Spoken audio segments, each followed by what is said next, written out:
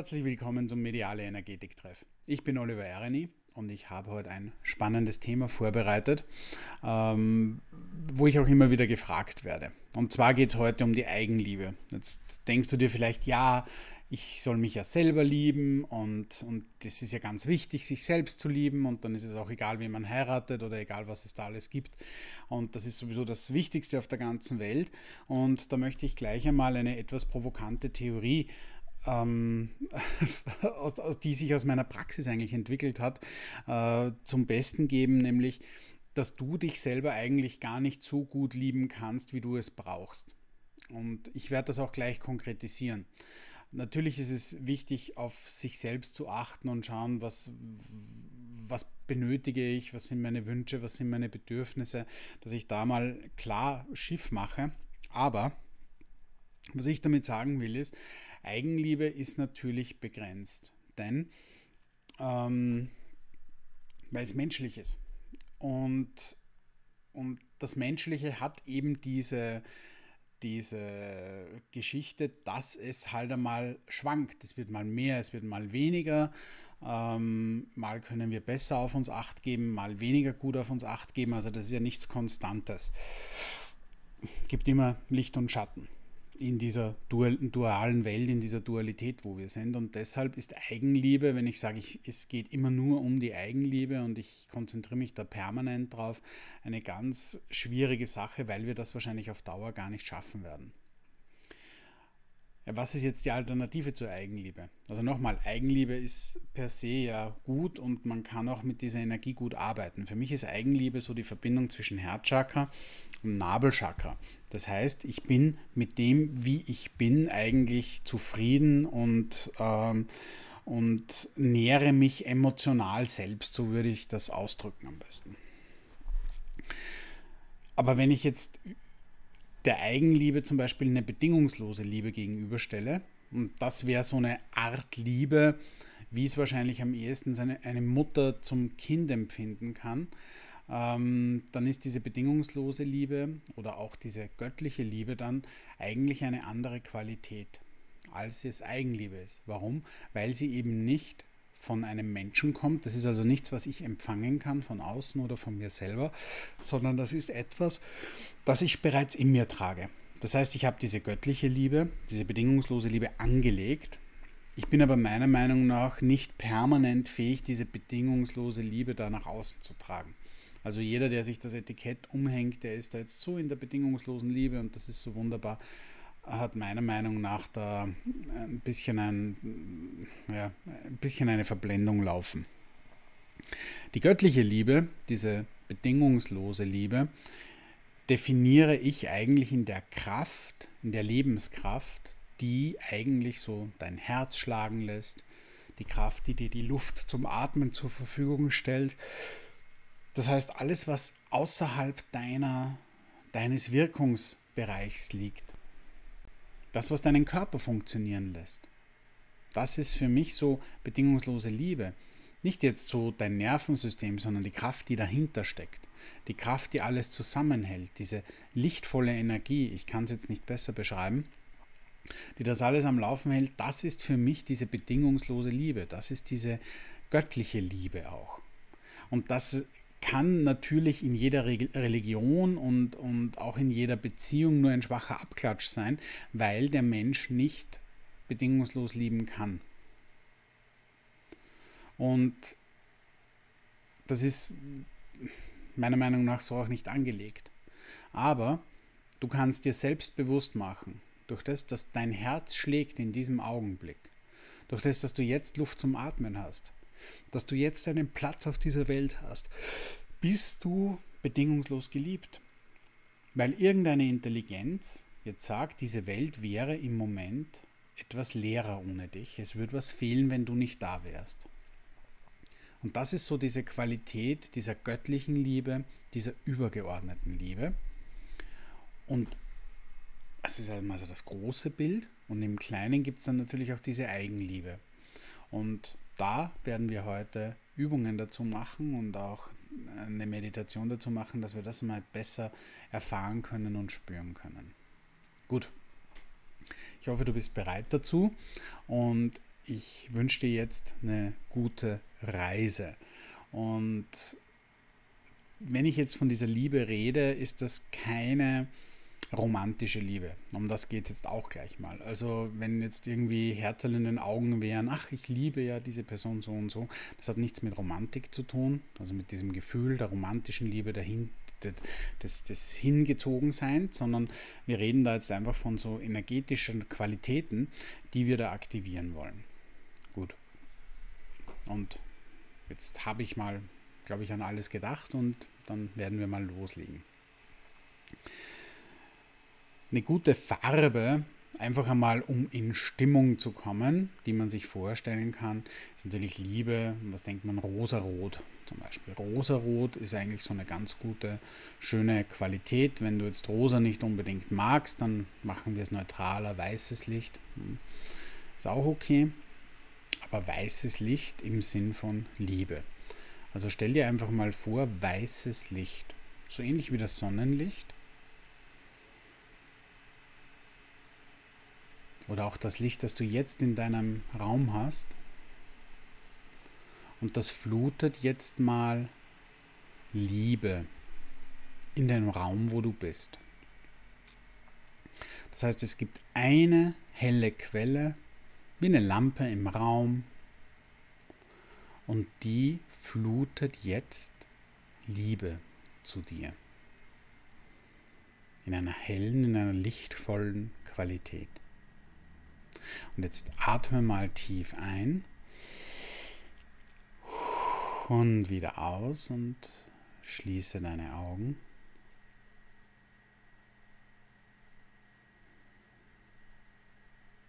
Und erlaube dir jetzt mal dieses Licht, diese Liebe zu spüren, diese bedingungslose Liebe. Die rund um dich fließt und die auch in deinem Innersten fließt. Bedingungslose Liebe. Und du bist jetzt gebadet in diesem Licht.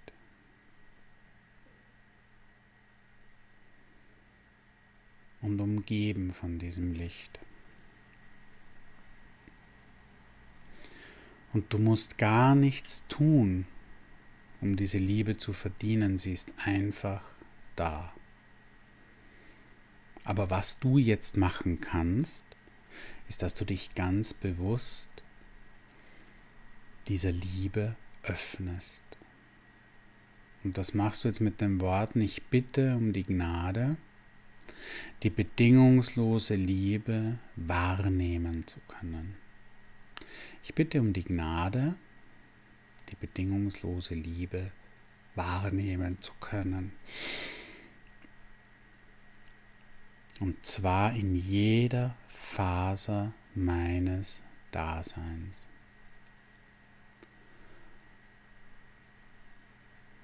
Und du öffnest dich jetzt dieser bedingungslosen Liebe. Und in dieser Öffnung öffnet sich dein Körper und jede Faser von deinem Körper, jede Zelle öffnet sich jetzt dieser bedingungslosen Liebe. Und du hast das Gefühl, dass dein gesamter Körper in eine positive Schwingung gerät. In einem positiven Gleichklang mit allem, was ist.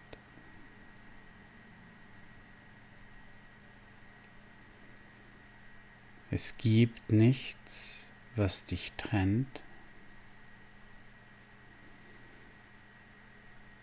Du bist einfach absolut in dieser Verbindung. Und du spürst, dass dieses Licht ganz klar und wundervoll in dich einfließt.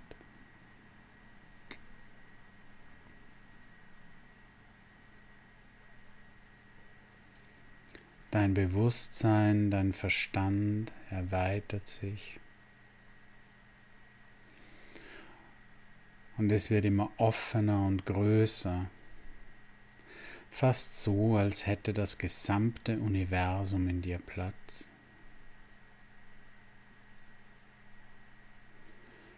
Alles, was lebt, alles, was existiert, hat in dir Platz.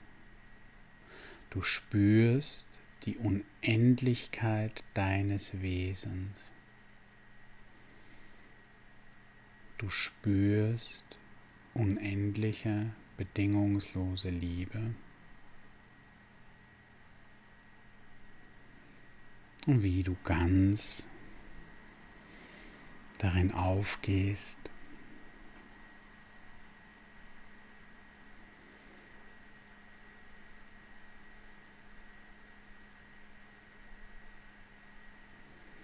Nimm wahr, dass diese Liebe nicht von dir ausgeht, sondern von einer Quelle, von einem Zentrum, das gleichzeitig in dir ist, aber auch außerhalb von dir ist, das gleichzeitig ganz nah und greifbar erscheint und trotzdem unendlich weit weg.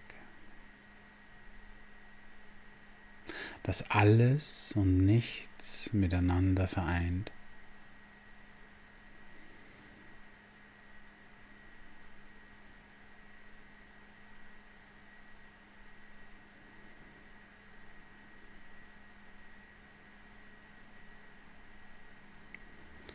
Spüre jetzt diesen Frieden, diese Geborgenheit und diese bedingungslose Liebe.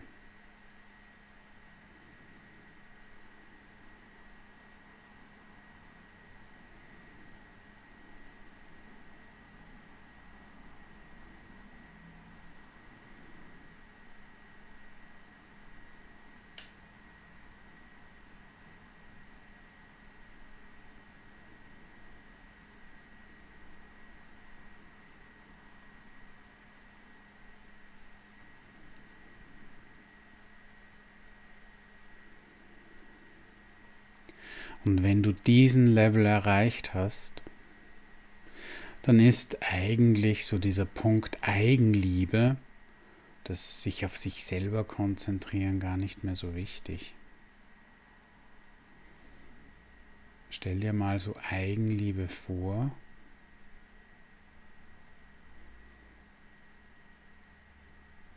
So dieses ein inneres Licht, das du selber generieren musst. Und überleg mal, was jetzt dann nachhaltiger ist, was weniger aufwendig für dich ist. Diese bedingungslose Liebe spüren oder versuchen, Eigenliebe zu generieren.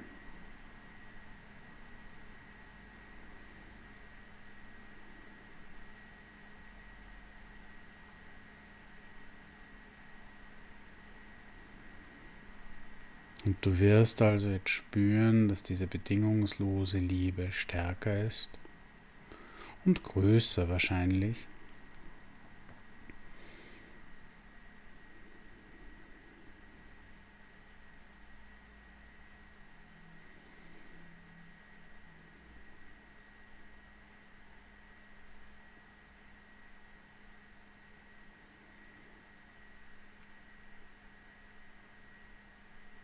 Und spüre jetzt mal in deinem tiefsten Inneren,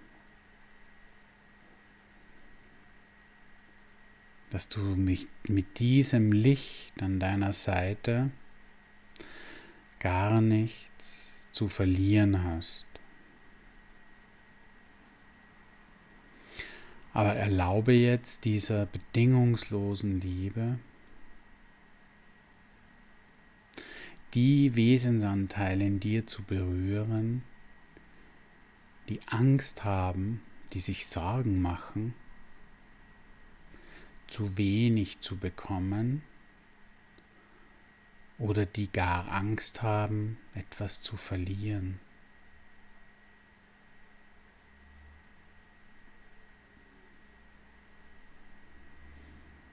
Ich öffne nun der bedingungslosen Liebe die Anteile, die Angst vor Verlust haben, die Angst haben, ausgenutzt zu werden, die Angst haben, übervorteilt zu werden, die Angst haben, alleine zu sein. Und ich bitte um tiefe Inspiration und Reinigung.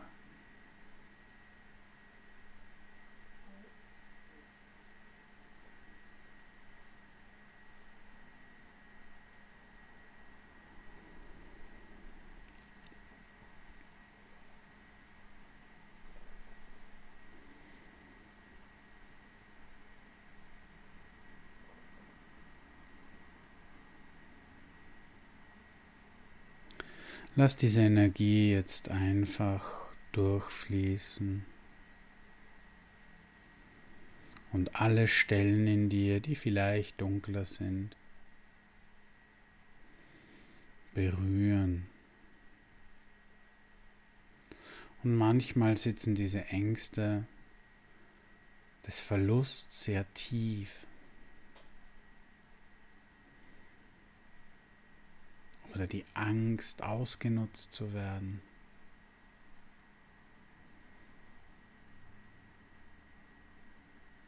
Doch jetzt entsteht genau die Zeit und der Raum, dass diese Ängste sich lösen können und mit dieser bedingungslosen Liebe erfüllt werden. Denn du spürst, je mehr du dich diesem Licht öffnest und hingibst, umso klarer und selbstbestimmter, umso sicherer bist du.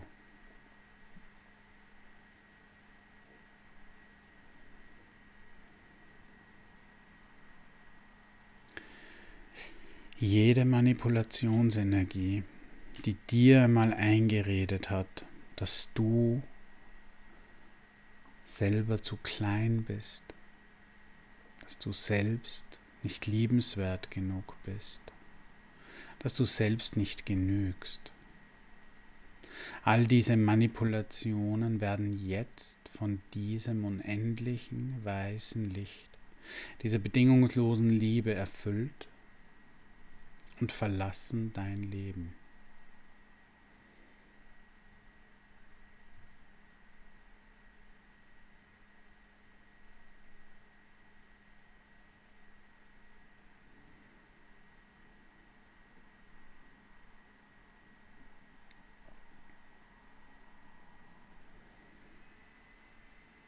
Und in diesem Augenblick spürst du, wie du dich erdest und das Wesen der Erde wirklich wahrnehmen kannst.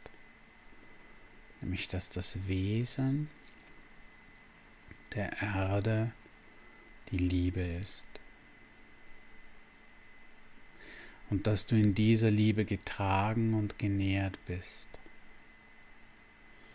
genau wie jeder andere, wie jedes Wesen, wie jeder Mensch. Das Wesen des Daseins ist die Liebe. Dein Wesen ist Liebe. Du kannst nur in Liebe sein und dich in Liebe bewegen. Und es ist eine schwere Entscheidung, diese Liebe nicht wahrzunehmen. Und du spürst jetzt, dass du die Entscheidung getroffen hast, ganz in Liebe zu sein und absolut dich in dieser Liebe zu erden und zu entfalten.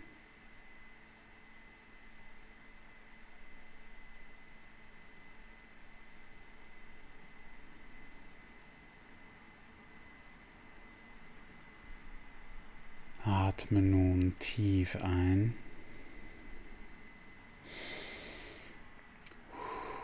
und wieder aus und tief ein.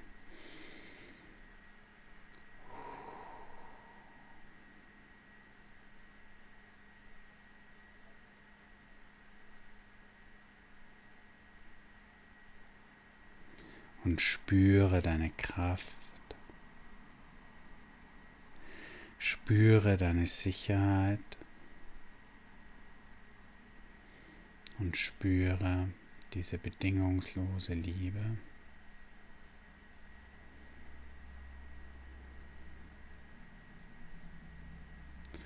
Und spür auch alle Bilder der Eigenliebe, der Selbstsättigung, dass die alle okay sind und auch ihren Platz haben dürfen. aber dass du dich mit deinem ganzen Wesen jetzt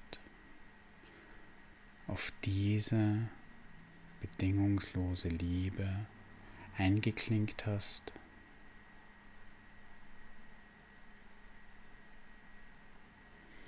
Und dass diese jetzt Teil deines Alltags und deines Bewusstseins ist.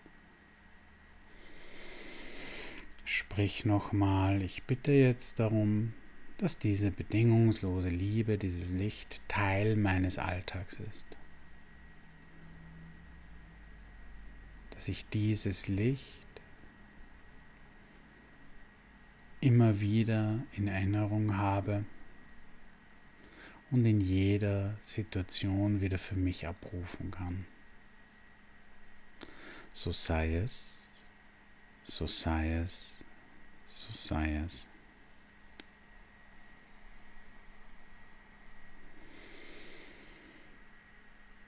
Atme noch einmal tief ein und wieder aus.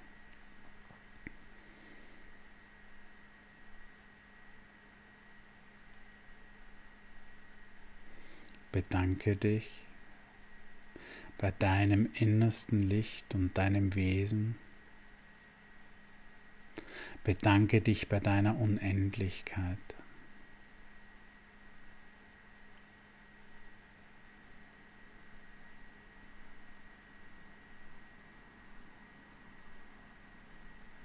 Und nun atme noch einmal tief ein und wieder aus und streck dich mal durch, beweg deinen Körper, deine Beine, deine Schultern.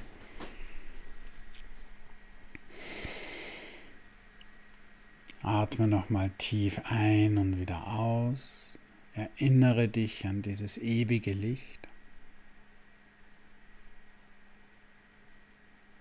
Fühl nochmal nach und komm dann genau in deinem Tempo ins Hier und Jetzt, in diese Zeit, in diesen Raum zurück.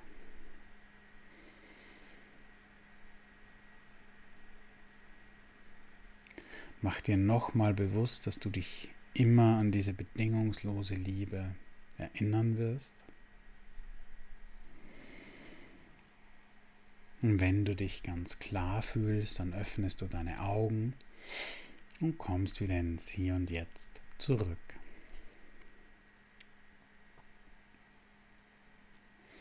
Sehr gut. Ja, ich hoffe, du konntest jetzt während dieser Reise mal so diesen, diesen Qualitätsunterschied, bedingungslose Liebe, Eigenliebe mal spüren, dass das eigentlich überhaupt kein Vergleich ist und ähm, ist natürlich okay, mit dieser Eigenliebe anzufangen und sich mal darauf zu besinnen, auf dieses, auf dieses sich selber konzentrieren, das passt alles. Aber es gibt einfach noch mehr und schränkt dich nicht ein.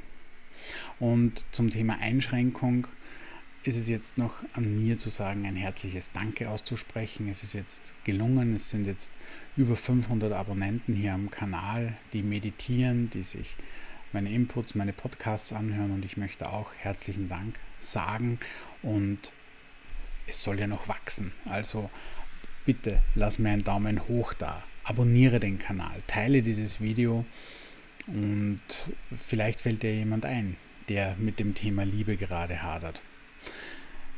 Ich wünsche dir alles Gute, bis bald. Ich bin Oliver Ereni, medialer Energetiker und das ist Energetik, die wirkt. Tschüss, bis nächstes Mal.